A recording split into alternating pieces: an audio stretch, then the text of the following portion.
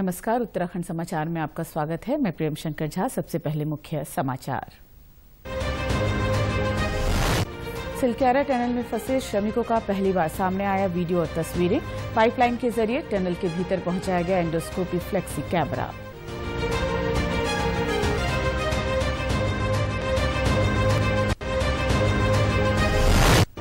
प्रधानमंत्री नरेंद्र मोदी ने मुख्यमंत्री पुष्कर सिंह धामी को फिर किया फ़ोन। सिलक्यारा टनल में फंसे श्रमिकों का जाना हाल।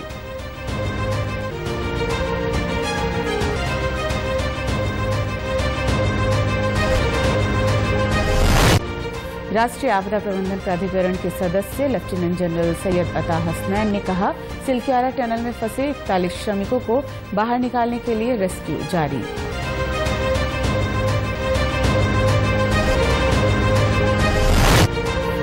और पुष्प सिंह धामी ने की लोक निर्माण विभाग की समीक्षा। अधिकारियों को 30 नवंबर तक सड़कें गड्ढा मुक्त करने के दिए निर्देश।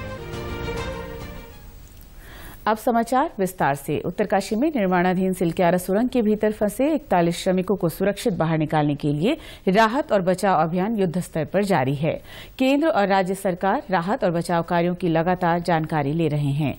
सुरंग में फंसे सभी श्रमिक सुरक्षित हैं। रेस्क्यू टीम ने उन तक पहुँचाए गए एंडोस्कोपी फ्लेक्सी कैमरे से सभी से बातचीत की। इसका वीडियो और फ़ोटो भी जारी किया गया है। इस दौरान श्रमिकों ने बाहर से कही जा रही बातों को सुना और उन पर प्रतिक्रिया भी दी। ठीक हो? हाँ ठीक है ठीक है कैमरा कैमरा ऊपर सारे लोग ठीक है तो कैमरे में अपने आप को दिखाएँ। हाथ खड़ा करें अच्छे से मुस्कुराएँ। हम तुम्हारे पास जल्दी पहुँचेंगे घबराए नहीं। हाँ हो रहा कैमरे को पास से धीरे धीरे बाहर निकालें और सभी को दिखाएँ। सभी को एक एक करके कैमरे पे दिखाओ और कैमरे पे पता चल जाना चाहिए हम आपको यहाँ से देख रहे हैं। विशाल विशाल ये कौन है? ये विश्वजीत इसके बगल वाला।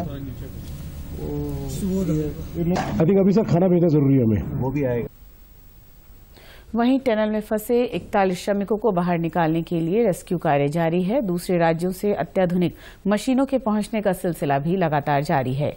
दो मशीनें मौके पर पहुँच चुकी हैं। रेस्क्यू कार्य में जुटी विभिन्न एजेंसियाँ सुरंग में फंसे हुए मजदूरों को बाहर निकालने के लिए दिन रात काम में जुटी हुई हैं।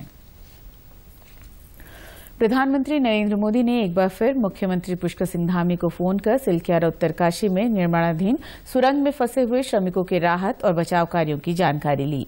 मुख्यमंत्री ने प्रधानमंत्री को छह इंच व्यास की पाइपलाइन के सफलतापूर्वक मलबे के आर पार किए जाने और उसके माध्यम से भोजन और अन्य आवश्यक सामान श्रमिकों तक पहुँचाने की जानकारी दी।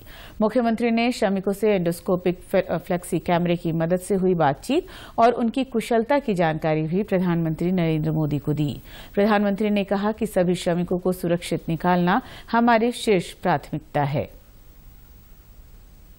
निश्चित रूप से सभी एजेंसियाँ और सभी जो इंजीनियर, टेक्नीशियन, विशेषज्ञ इस काम में लगे हैं, उनकी मेहनत और परिश्रम से छः इंच की जो पाइप है, वो अंदर पहुँच गई है और उससे अब भोजन और सभी प्रकार की जो खाद्य सामग्री है, उनके लिए पहुँच पाएगी। निश्चित रूप से ये हम सबको प्रोत्साहित करने वाली है और हम भगवान से प्रार्थना करते हैं कि जल्दी से जल्दी ये रेस्क्यू अभियान पूरा हो। हमारे सभी श्रमिक भाई कुशलता से बाहर आए। हमारे आदरणीय प्रधानमंत्री जी लगातार रोज उनकी चिंता कर रहे हैं, रोज उसकी जानकारी प्राप्त कर रहे हैं। राज्यपाल गुरमीत सिंह ने उत्तरकाशी टनल रेस्क्यू ऑपरेशन के दौरान कैमरे से टनल में फंसे मजदूरों की स्थिति का वीडियो सामने आने पर खुशी जताई है। राज्यपाल ने कहा कि बहुत जल्द सभी मजदूर टनल से बाहर होंगे। उन्होंने कहा कि पूरा देश श्रमिकों के साथ है। केंद्र और राज्य सरकार लगातार हर संभव प्रयास कर रही है। रेस्क्यू कार्य दिन रात जारी है। हमारे परिवार के इकतालीस जो सदस्य हैं, जो सिल्कियारा के अंदर में अभी अंदर में हैं उनके जो कल कोशिश की थी छः इंच की पाइप डालकर, उसके बाद में उनका वीडियो भी देखा है, उनके पास में सामान भी गया है। तो ऐसा लगता है कि और इसके अलावा पाँच प्लान हैं जो कंकरेंटली की जा रही हैं। नेशनल इंटरनेशनल लेवल की जो मदद है, जो टेक्निकल कैपेबिलिटी है, उनको भी लगाया जा रहा है। और हम सब पूरा परिवार चिंतित है इस वक्त में हमारी सर्वोप्रिय जो प्राथमिकता है कि हम अपने परिवार के उन इकतालीस को किस प्रकार उस टनल से बाहर लेके आए। वहीं केंद्रीय राज्य मंत्री अजय भट्ट ने कहा कि सिलक्यारा सुरंग में चल रहे रेस्क्यू अभियान में आज एक महत्वपूर्ण कामयाबी मिली है।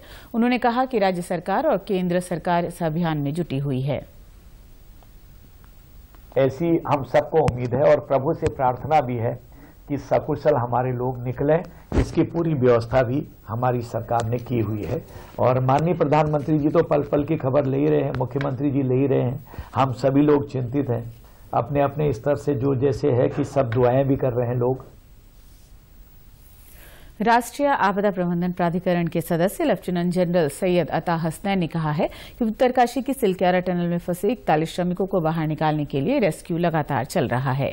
फंसे हुए श्रमिकों को बचाने के लिए एनडीआरएफ, आईटीबीपी, सेना के इंजीनियर, एसडीआरएफ, अग्निशमन और आपातकालीन सेवाएँ, बीआरओ और सरकार की अन्य तकनीकी एजेंसियाँ भी काम कर रही हैं। सुरंग बचाव एक बहुत ही गंभीर और चुनौतीपूर्ण प्रयास है। जहाँ भी हमें विशेषज्ञों के बारे में जानकारी है, वे विशेषज्ञ पहुँच गए हैं और सलाह के लिए उपलब्ध हैं। उन्होंने कहा कि तीन से चार अंतर्राष्ट्रीय विशेषज्ञ साइट पर आए हैं, फंसे हुए श्रमिकों के लिए पर्याप्त जगह है और अंदर रोशनी की भी व्यवस्था है। नाउ इस वक्त वहाँ पर अलग अलग एजेंसीज हैं। एनडीआरएफ है आईटीबीपी है आर्मी इंजीनियर्स हैं एसडीआरएफ है उत्तराखंड की। फायर और इमरजेंसी सर्विसेज़ हैं।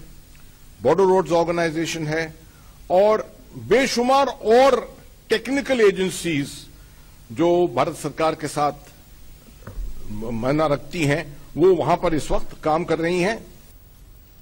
उन्होंने कहा कि हमारे पास छह इंच के पाइप के रूप में एक जीवन रेखा है, जिसके माध्यम से जीवित रहने के लिए राशन उपलब्ध कराया गया है। साथ ही एनडीआरएफ की दो टीम किसी भी आकस्मिकता और किसी भी स्थिति से निपटने के लिए साइट पर तैनात हैं। अगर किसी स्थिति में उन्हें रेंग कर सुरंग में प्रवेश करना है या मदद प्रदान करनी है, उसके लिए भी टीम पूरी तरह से तैयार है। एक बड़ी चुनौती का काम है। Tunnel rescue takes place it's a very serious and a very challenging effort जो इसके अंदर जाती है। इंटरनेशनल कंसल्टेशन भी हुआ है। यहाँ तक कि तीन या चार कंसल्टेंट्स जो हैं बाहर से इंटरनेशनल एक्सपर्ट वो भी साइट पर आए हैं। उन्होंने भी अपनी सलाह वहाँ पर दी है। The government has made sure that wherever we had knowledge of experts those experts have been flown in have come in here and are available for advice. मुख्यमंत्री पुष्कर सिंह धामी ने लोक निर्माण विभाग की समीक्षा बैठक की। इस दौरान उन्होंने अधिकारियों को निर्देश देते हुए कहा कि 30 नवंबर तक सड़कों को पूर्ण रूप से गड्ढा मुक्त बनाया जाए। मुख्यमंत्री ने सचिव लोक निर्माण विभाग और अन्य सर्कल अफसरों को सड़कों का स्थलीय निरीक्षण करने के भी सख्त निर्देश दिए हैं। उन्होंने कहा कि तय समय पर काम नहीं होने और कार्य में किसी भी तरह की लापरवाही होने की स्थिति में संबंधित अधिकारियों पर मौके पर ही निलंबन की कार्रवाई की जाए। मुख्यमंत्री ने कहा कि वे कभी भी सड़कों के निर्माण कार्यों और पैच वर्क से संबंधित कार्यों का औचक निरीक्षण कर सकते हैं। उन्होंने अधिकारियों को निर्देश दिए कि स्मार्ट सिटी के कार्यों और आंतरिक सड़क मार्गों के कार्यों में भी युद्ध स्तर पर कार्य किए जाएँ। शहर में सड़कों के निर्माण कार्य रात्रि के समय तेज़ी से किए जाएँ। मुख्यमंत्री ने कहा कि देहरादून में ग्लोबल इन्वेस्टर्स समिट और आपदा प्रबंधन पर छठी अंतर्राष्ट्रीय कांग्रेस दो बड़े आयोजन होने वाले हैं। इसके दृष्टिगत भी सभी तैयारियाँ समय पर पूर्ण कर ली जाएँ। ऑपरेशन मुक्ति के तहत चल रहे भिक्षा नहीं, शिक्षा दे अभियान को लेकर देहरादून पुलिस लाइन में एक आयोजन किया गया। कार्यक्रम में भिक्षावृत्ति में लिप्त उन गरीब बच्चों ने भी शिरकत की, जिनके हाथों में प्रदेश की पुलिस की मदद से किताबें हैं। वे अब स्कूल जाते हैं, पढ़ते हैं और कुछ बड़ा करने का सपना भी देखते हैं।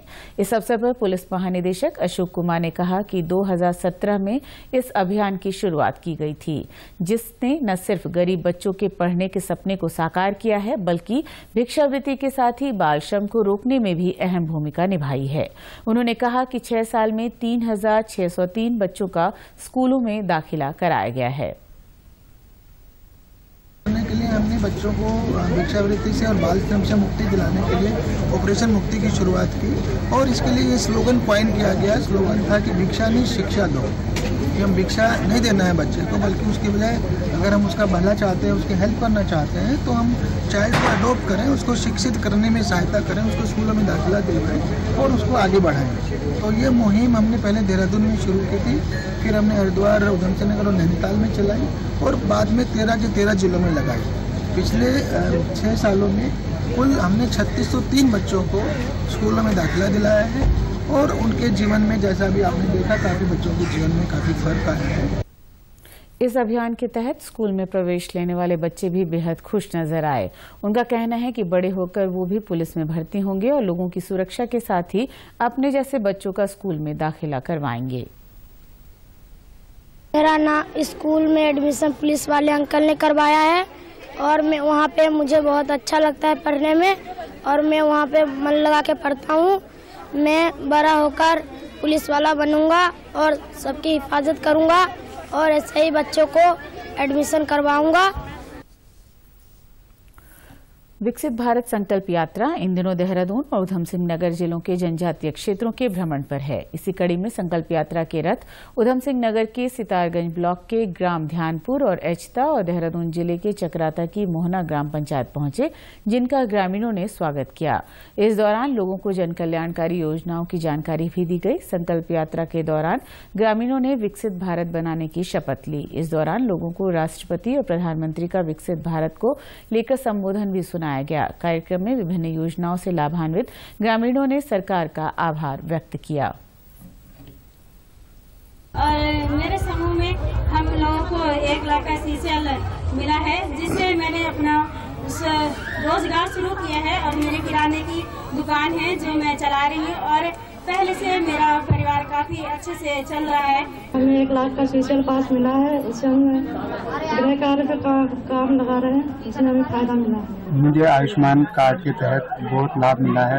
मैं पिछले एक महीने पहले बीमार हुआ था इसमें मेरा करीबन एक डेढ़ हफ़्ता इलाज चला और आयुष्मान कार्ड पे चला जिसमें मुझे ढाई से तीन लाख तक का मुफ़्त इलाज मिला है। अल्मोड़ा के राजकीय आदर्श इंटर कॉलेज हवालबाग में Uttarakhand state council for science and technology दो दिवसीय विज्ञान लोक व्यापीकरण कार्यशाला प्रारंभ हो गई है। कार्यशाला में विषय विशेषज्ञों ने छात्र छात्राओं को व्याख्यान दिए। इससे पूर्व एरीज के वैज्ञानिक डॉक्टर योगेश चंद्र जोशी सहित वैज्ञानिकों ने छात्रों के साथ अटल उत्कृष्ट लैब में वैज्ञानिक उपकरणों को देखा और छात्र छात्राओं से जानकारी ली। कार्यशाला के संयोजक और राजकीय आदर्श इंटर कॉलेज हवालबाग के प्रधानाचार्य डॉक्टर कपिल नयाल ने कहा कि लोगों में विज्ञान के प्रति जन जागरूकता पैदा करना और वैज्ञानिक सोच विकसित करना कार्यशाला का उद्देश्य है। उन्होंने कहा कि अपने उद्देश्य को लेकर सफल रहेगी। एरिज नैनीताल के वरिष्ठ वैज्ञानिक डॉक्टर योगेश चंद्र जोशी ने कहा कि कार्यशाला के माध्यम से बच्चों के मानसिक विकास के लिए एक फोरम विकसित होगा। उन्होंने अटल आदर्श लैब में बच्चों के बनाए गए वैज्ञानिक उपकरणों और उनके विज्ञान के प्रति सोच की सराहना करते हुए कहा कि ये वैज्ञानिक सोच भविष्य में काम आएगी। यूकॉस्ट के वैज्ञानिक डॉक्टर एस एस सामंत ने कहा कि यूकॉस्ट का उद्देश्य विज्ञान को प्रदेश के कोने कोने तक ले जाना है। बच्चों को प्रशिक्षित कर वैज्ञानिक सोच विकसित करना है। उसी लोक व्यापीकरण कार्यशाला, विज्ञान लोक व्यापीकरण कार्यशाला, यानी कि साइंस पॉपुलराइजेशन प्रोग्राम, हमारे राजकीय इंटर कॉलेज हॉलबाग में प्रारंभ हो गया है। और यह जो प्रोग्राम है, इसका मुख्य उद्देश्य लोगों में विज्ञान के प्रति जागरूकता उत्पन्न करना और लोगों को विज्ञान से जोड़ना और वैज्ञानिक सोच उत्पन्न करना यह इसका मुख्य उद्देश्य है। प्रदेश के समाचारों में बस इतना ही। चलते चलते मुख्य समाचार एक बार फिर। सिलक्यारा टनल में फंसे श्रमिकों का पहली बार सामने आया वीडियो और तस्वीर। पाइपलाइन के ज़रिए टनल के भीतर पहुंचाएगा एंडोस्कोपी फ्लेक्सी कैमरा।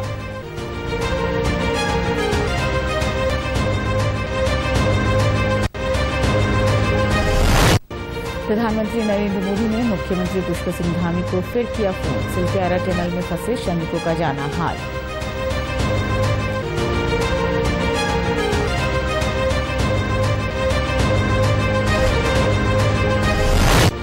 राष्ट्रीय आपदा प्रबंधन प्राधिकरण के सदस्य लेफ्टिनेंट जनरल सैयद अता हसनैन ने कहा, सिलक्यारा टनल में फंसे इकतालीस श्रमिकों को बाहर निकालने के लिए रेस्क्यू जारी।